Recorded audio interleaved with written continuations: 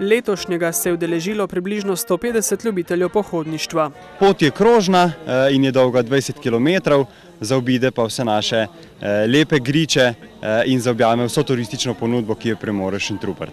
Pot je ime sicer dobila po Šentruperčanu Ivanu Steklasi, zgodovinarju in slavistu, ki je med drugim napisal zgodovino župnije Šentrupert na Dolenskem.